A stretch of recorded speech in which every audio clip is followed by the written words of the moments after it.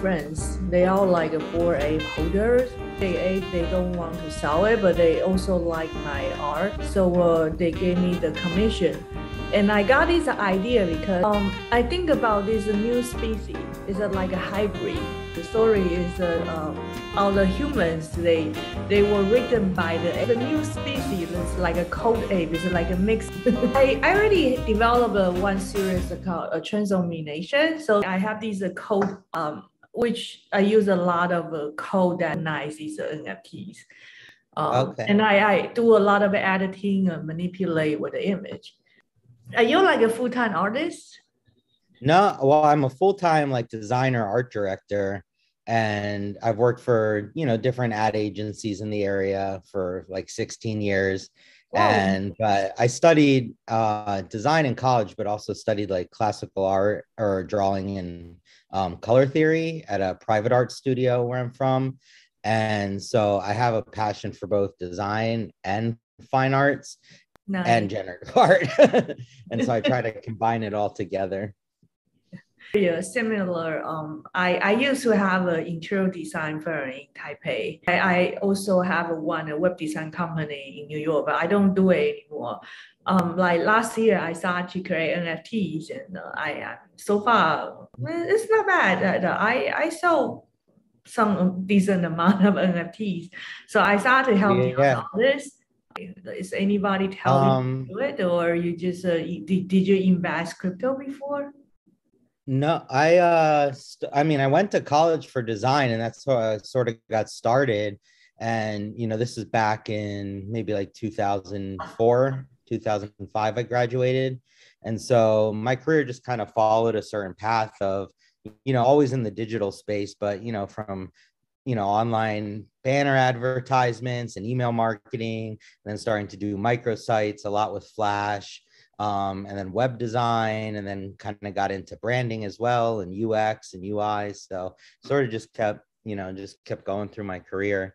And um, i had never invested in crypto or nfts until recently maybe um, in october and i sort of you know fell in love with the community online and you know there's so much excitement in it um it, you know it's a fun space and i connected to some different artists and different communities that i really enjoy and uh skojo as you know from niftorian uh, i used to work with him at an ad agency many years ago and so you know i connected with him more recently and that's how i found you know this program and you know getting connected with you so I'm artist. I'm also a curator. I curate several shows back to 2013. Uh, I was really pioneer uh, Bushwick Open Studios.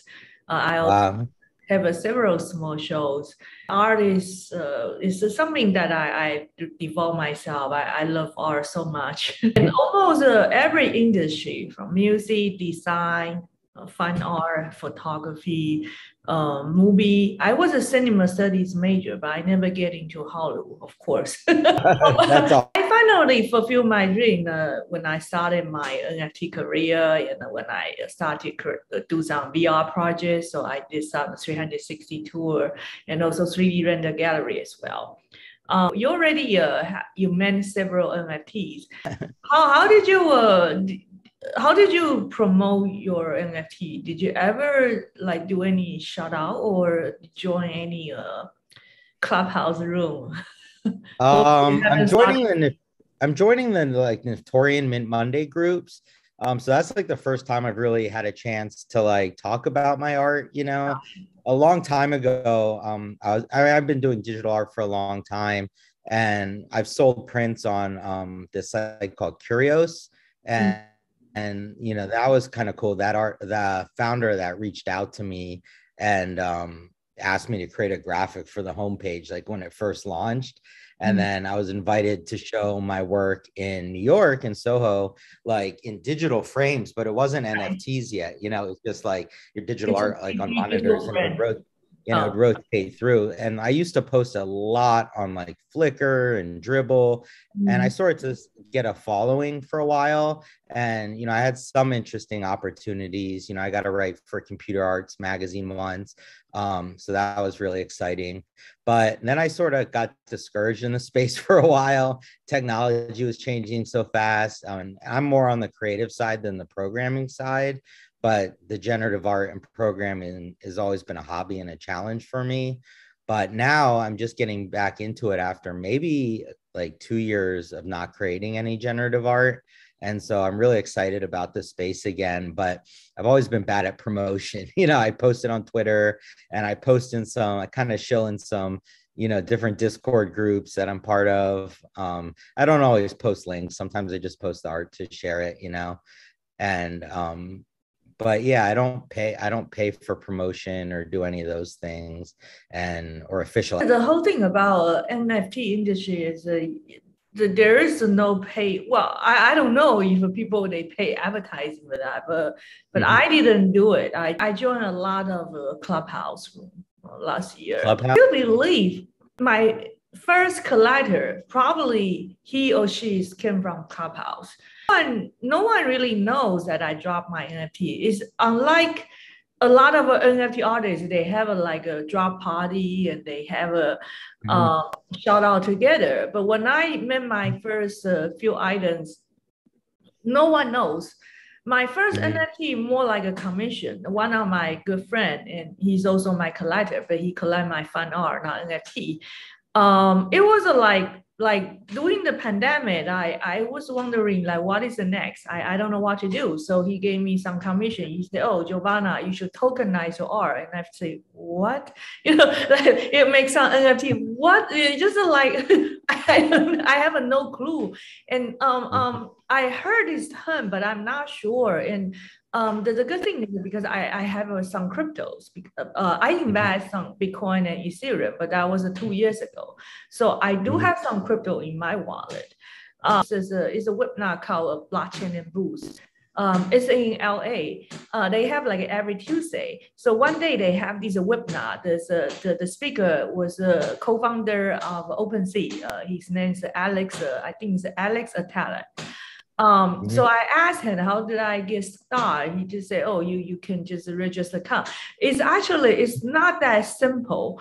Um, it's not simple at all. But uh, I do have some crypto. I have uh, my crypto wallet. So I, I, I linked it to OpenSea, but it was a, it wasn't really not that smooth at all. Uh, mm-hmm. At the beginning, it's always loading a lot of bug, and I finally made my piece it was a more like a commission word. So that's the very first one It's called Una Notte a Napoli. It is based on a an Italian love song. And a few days later, I, I received email from OpenSea just to say, oh, congratulations, your item sold. And I, I, thought it was my friend. But I, mm-hmm. I asked him, I said, oh, did you buy it? Because uh, he, he gave me all this idea. And he said, no, I didn't. Because uh, was wondering who brought it, but the but the, the only thing I remember uh, after I mended, so I, I went to one of the uh, clubhouse room, but it was a, like a really small room, like only 15 people, and it's not even about NFT. The host of the room, he say he's a early uh, Bitcoin investor, early Tesla investor. And he asked me mm-hmm. what I do and close one business. I don't want to say I close my company. So I say, oh, I'm an NFT artist. So he said, oh, why don't you uh, send me I want to take a look. That's the mm-hmm. only place because it's just too specific. Like no one mm-hmm. knows. Like, I'm not even active on Twitter yet. Um, I used a mm-hmm. Twitter a long time ago, but I don't really. I kind of abandoned that account.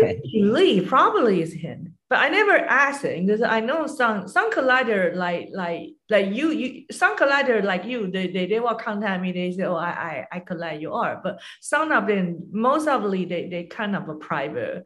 And then I feel like maybe Clubhouse is a good place to start. Uh, of okay. course, Twitter. Well, I, I am lucky because I already have a lot of followers because I use mm-hmm. Twitter for more than 10 years. mm-hmm. it's, it, I built a, a lot of a real real Twitter follower. We follow each mm-hmm. other. It's just uh, and some of them they're like a, like a people and friends from real life. Mm-hmm. Um, and then and the other funny thing is, uh, uh, now everyone's know if you want to promote your your NFT, you have to have a Twitter account, and you, you have to have a Discord. Uh, I still mm-hmm. not that active on Discord. It's just like so many channels and so yeah. just too much. I don't know how to follow up anymore. Do you do uh, Twitter Spaces? So you don't really use Twitter Spaces. You use yeah, mostly I, yeah.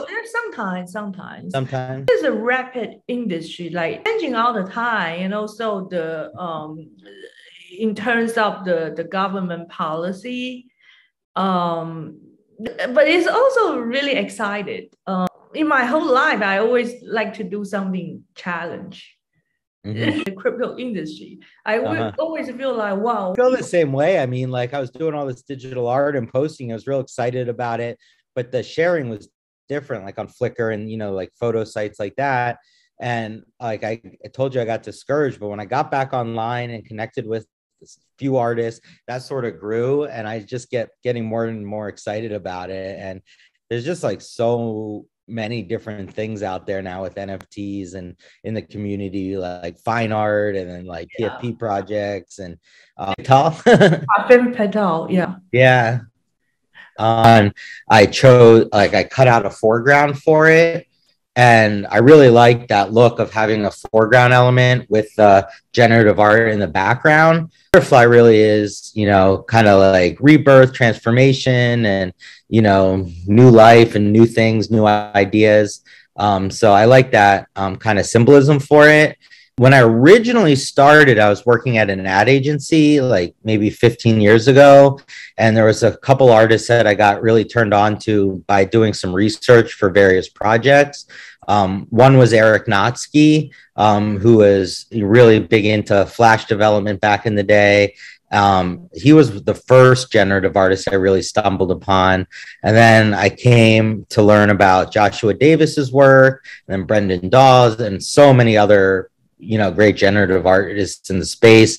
Um, Jared Tarbell was another one, um, and I just got so fascinated by the idea of generative art and that you know you could create these really complex images um, from uh, to me the code's not simple but from pretty simple code you can create these amazing things um, and let the computer run the algorithm. So you can get you can run it as many times as you want and get all these different you know various outputs and then save the one that you know that you like the best or and so i think the inspiration came from there. And then it was just a, I was a flash a journey of you know learning so just ActionScript, which has a similar syntax to um, JavaScript, and then processing, which is also similar, but with I think some minor differences in the syntax. Mm-hmm. But I art aspect and the generative aspect, and I struggle with it, but I just try to keep pushing forward and learning new things here and there. And eventually, um, you start simple and then you start layering up complexity. So, you know, I might not be able to sit down and write all 450 lines of code at once. But if I keep adding a piece and then editing a piece and then adding a little more over time, they start to build up to something more complex. This is all art I've created in the last several months. Um, it'll sell for more one day, but I really just create it because I love it. You know, I've been doing it so long, like 15, 16 years. Um, morning poppies. Um, I did for my brother's wedding gift. The colors are sampled from an image, like this case, nice. a field of poppies, you know, with the red flowers and the sky. And then as the mouse moves on the canvas, it's moving in the same position on the image and then transferring the color um, to the canvas. So this is like an older piece. And when I was doing static pieces, and something I'd like to do is go back and revisit these as animations, but I mm-hmm. didn't really have the software technology to do that. So a lot of what I like about when I'm creating these and the movement and the excitement and the animation, I wasn't sharing in the past, you know? Mm-hmm. Um, but now with the new software and screen recording, like here's another one. Um, this was an older piece, you know, uh, static piece, oh, but I, it can be one. Nice. It can be animated. Like I have the code on a hard drive. I just have to kind of reopen it and tinker a little bit and then i might be able to bring some recordings back of some of my older stuff which would be really exciting for me um a video i did um it sounds like and so um where did you get music um, the music I found a site to license like stock music, similar to how you would license, you know, a a royalty free image for an advertisement, you know, or something. So I search online and I, you know, I have a paid subscription to license the music for it. And I'm trying, and it would be really nice to meet um, some musicians that, you know, eventually maybe I could get um, some, you know, uh, original uh, music special for like the mood and tone of the art. Right now, I might spend a two to three hours sometimes just looking for one song um, from the stock royalty collections to use with my art. And I am currently talking to somebody um, who has an amazing voice, and she may uh, work with me to create some original music for these. Fun to create. It started as um, a generative art piece um, in processing again and um, this was actually one of the very first experiments I did with processing when I, you know, got back into it. And um, I started um, playing around with what's called the hype framework, which was uh, Josh Davis uses a lot. And um, I played around more with it and just added these layers. And then this is a render from those processing sketches, but I mm-hmm. brought it into Photoshop. So this is actually several renders that are PNGs, and then I layered them on top of each other manually in Photoshop um, with a little bit of color correction. Such nice work. Thank you. Um, you can see, I don't know if I have the videos of that one posted online. Yeah. Um, yeah, let me start it over.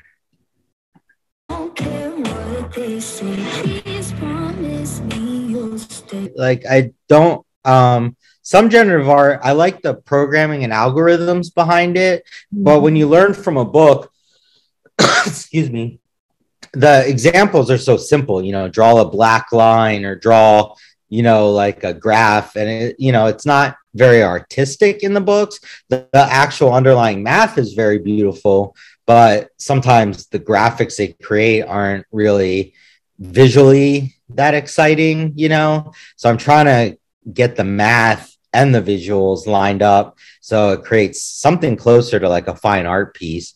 And you can see if you were to render out like every frame as an image like the, it's all unique you know? You could yeah. um, i haven't done this yet but you can generate a series of maybe like 30 prints you know from a piece or something like that and have like every frame is different. And this one's synced up to the music so it's really two audio visualizers. Like you can see the lines on the bottom. That's really a waveform from the music. It wasn't as complex, right? It was just, you know, adding circles in random locations on the, you know, there they can jump around. yeah, latest ones were the butterfly that yeah we showed earlier, and before that, I believe it was this one, um, oh. snow leopard. Snow leopard. Yeah,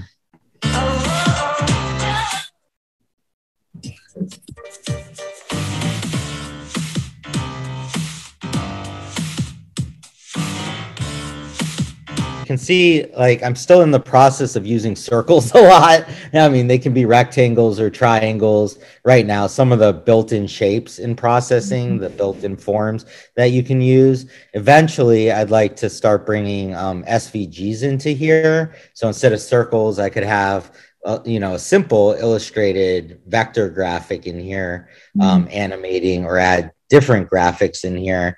Um, but I'm sort of just going step by step right now. So I don't want to like jump ahead, you know, to something else. I just kind of want to go through a process of learning. And so each one is iterative, each one has, you know, slightly different code like this one, um, which I discussed at Mint Monday for Niftorian last week, um, really has like a virtual camera that's spinning around, creating those circles that look like they're rotating a little bit. So it gives the illusion of 3D space, you know.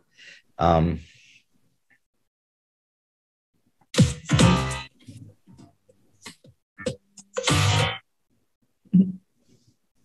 and I like how the colors turned out in this one too, a lot.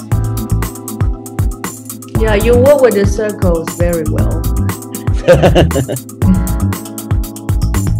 it won't always be circles, but for now, I mean, a lot of these, I'm already stressing probably what the computer is capable of to draw all these shapes, you know, so fast and quickly. Because um, it's really creating a circle every single frame, um, and then it's sizing to the music.